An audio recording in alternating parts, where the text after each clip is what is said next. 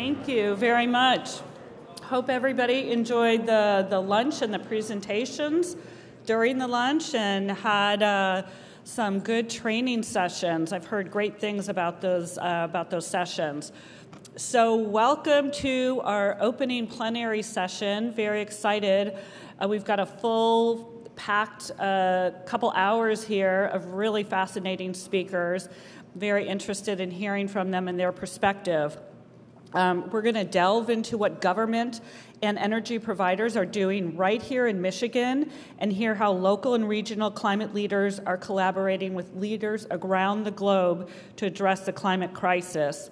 We will also hear from sustainability leaders from international companies who are working to decarbonize all across their business and supply chains and create a sustainable circular economy. Before we get started, I do have some housekeeping notes for you here. And um, I, I, sorry, but I failed to mention this earlier in the, um, in the, during the luncheon comments, but um, we're also a um, handshake free zone if so you desire. And there are many ways that you can greet each other um, if you prefer, prefer to do so. So, Bob and I are going to model a couple of those right now. So, first, there's the, um, the, the age old favorite, the fist bump. There you go there. And then there is the elbow tap. And then Bob has invented a new one, which is called the foot tap. So you have a choice of three right there. Um, feel free to avail yourselves to those with your fellow attendees. Um, I also want to spend a few minutes right now saying thank you so much to our wonderful staff at C2ES and the Climate Registry. Um, we couldn't be here without you. Bob and I have a very easy job. Uh, here we have the easiest job, and all the staff here is working really hard to make your uh, make your experience exceptional this week. I also want to thank all of our sponsors, starting with our headline sponsor, America's Pledge, and our host city sponsor, DTE Energy. And thank you also to the hosts of today's workshops and training ses- sessions for starting off CLC in such engaging and energizing way. Uh, another thing I want to let some of you know about, if this is the first time you've been attending the Climate Leadership Conference, is about our conference app. And there are uh, a lot of benefits for signing on to the app and using it. You can find out about speakers and sessions and have access to documents that are attached to these sessions. Uh, we'll also be making updates and announcements uh, from the conference organizers to the attendees. And it's also a great way to find out who is in the room, wh- what attendees are here. And then if you want to meet with them and uh, set up a time to connect, it's a great way to do that. Uh, we will also be live streaming this session and a number and three other of the plenary sessions, and those are available on our CLC YouTube channel. So you can subscribe to those, and you'll see the full sessions afterwards. Uh, also, we'd love to hear your thoughts during and after the Climate Leadership Conference. And uh, so feel free to tag us on social media using hashtag TheCLC. With that, I'll turn it back over to Bob. I thought for a second there we were going to try to dance or something, but um, it's serious, serious stuff uh, in terms of everybody's individual issues and concerns in terms of, con- you know, d- the different uh, coronavirus uh, issues. So, um, sort of be calm and carry on. Um, I want to say what a, I want to echo Amy on what a tremendous um, set of working sessions and training sessions we just had. I, I, had a chance to sit in and listen, and I'm really, I'm really impressed with the work. But my job right now is a, is a really pleasant one. Um, I'm going to introduce Jerry Norcia, uh, who's the CEO of DTE, and you just heard they're our, our uh, host city sponsor. Um, and under Jerry's leadership, DTE has been setting some very ambitious goals, including net zero carbon emissions by 2050. And I'm sure he'll speak to this when he comes up to the podium. But DTE Energy has been part of a, a big part of our ability to have a successful conference here in Detroit. Um, not only are they the host city sponsor, but they've also been a, a, fantastic guide to us and to the climate registry in connecting us with other uh, institutions and, and players and, and interested parties in the, in the Detroit and Michigan area. And so we're very grateful for the work that they have done to help us have a successful conference. I also have to say one other last thing before I ask Jerry to come up, and that is uh, DTE itself has been a really uh, a, a wonderful uh, help and, and source of information and advice to the Center for Climate and Energy Solutions as we struggle to help companies think about how they decarbonize and how they become more efficient and deal with technology issues. Uh, has always been there uh, with advice and sage advice for us. And now that they're moving out even more aggressively, um, I can only see that increasing. So, Jerry, I hope you can come up and, uh, and then uh, we look forward to hearing your comments.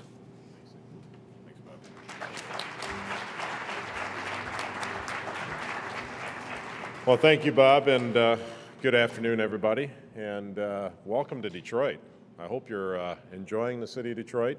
Uh, lots of things to do in Detroit, and hopefully you'll get an opportunity to uh, taste some of the great food in Detroit and maybe experience some of the local entertainment like jazz clubs and, and other uh, many venues that are exciting here in Detroit today. Uh, we're also honored that we are the host city sponsor for the Climate Leadership Conference, the first time in Detroit. How cool is that? So we're really excited about that, and it fits quite nicely with our agenda as a company. Uh, DTE's aspiration is not only to be the best operated energy company in North America, but also a force for growth in the communities where we live and serve. And some of the things we're doing to reach that goal of being the best uh, in the world is through our clean energy investments and, and emission reduction efforts. We're the largest uh, investor uh, in Michigan in renewable energy. Uh, to date, we've invested about $3 billion, primarily in wind energy, and now we are starting to pivot uh, towards solar energy. Uh, we've got some of the largest uh, renewable operations uh, east of the Mississippi River, which is something that we're really proud of. In 2017, as Bob mentioned, we put some very aggressive goals out there for carbon reduction. And last year, uh, we announced that uh, we were going to reduce our carbon emissions by 80% by 2040. In 2040, we'll retire some of our largest carbon emitting uh, resources. And by 2050, uh, we're looking to be net zero. So very exciting.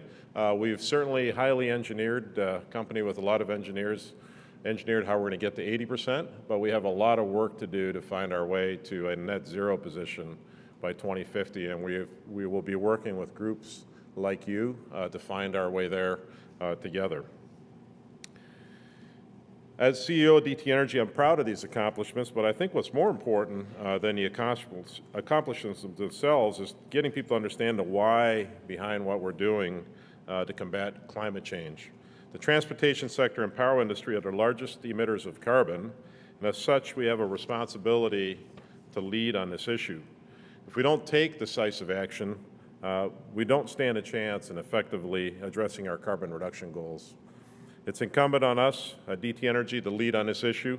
It is a responsibility that we take very seriously, uh, and this issue is not only one that we tend to lead on, but we also intend to win on, and, uh, and I believe that together we, we can do that. And I think it was a genius decision to host this conference in Michigan because there is a cross-section of companies here in this state that are acting on climate change. So you know that Consumers Energy, Another large utility in the state of Michigan recently announced an ambitious net zero commitment. The auto companies are making substantial investments in electrifying the transport sector, and I'm proud to be an EV owner, and I love my, uh, my plug-in hybrid. I hope that at some point I can buy uh, a local vehicle that's 100% electricity. I know there's many of those coming shortly, so that's, uh, I'm excited about uh, that, the advent of that. Whirlpool is another home state company that is going above and beyond in its efforts to make more sustainable, energy efficient products, and that helps everyone who purchases Whirlpool appliances reap cost savings on their energy bills And when you make something more energy efficient, it obviously has less emissions or creates less emissions.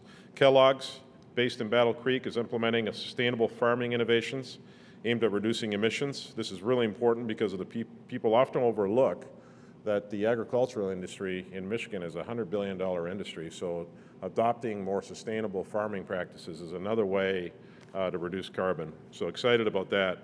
I'd also like to call out the outstanding leadership of our elected officials. Climate change is not a siloed issue that can be solved in isolation. It's going to take comprehensive team effort, and leaders such as Governor Gretchen Whitmer, U.S. Senator Debbie Stabenow are helping to propel us in the right direction. Governor Whitmer launched the state's first advisory council for environmental justice and is a huge supporter of the Paris Climate Agreement. Senator Stabenow recently released a report which documents the impact of climate change in Michigan and outlines how the state is poised to lead the way in addressing this challenge. so from our elected officials to our Michigan industries to local environmental groups and foundations, we're working together as a team to tackle this issue. And I think this conference is designed to keep the momentum going for us. When you think about regions of the country where climate advocacy and innovations are taking place, Sometimes it's easy to think that uh, Michigan doesn't come to mind first, uh, but the fact that Amy and Bob have agreed to host this prestigious conference here says a lot about the great work that has taken place in and around uh, the Motor City. And so it's an awesome reflection of Amy and Bob's tireless efforts to broaden and create a more inclusive army of climate advocates. So thank you both for your leadership on this issue. And in closing, when I look around this room, I see so many people with all the same goal uh, to protect the planet for future generations. And I was mentioning to one of my colleagues this afternoon, that it's even more especially important to me that uh, my uh, son and daughter-in-law are expecting a baby uh, this week, any day now. So I may get a phone call while I'm up here to go, but uh, it gives me that much more inspiration to really uh, make climate change an imperative for us as we go forward.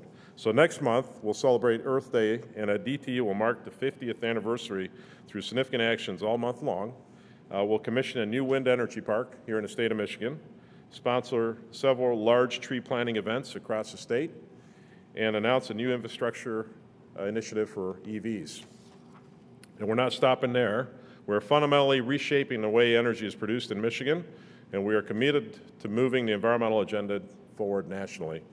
It is my hope that you all leave this event more informed about the climate crisis, but also more inspired to take on tangible actions to combat it. I tell my people all the time, I like goals, but I like accomplishments even more. So I look forward to working with you. Thank you very much and have a great day.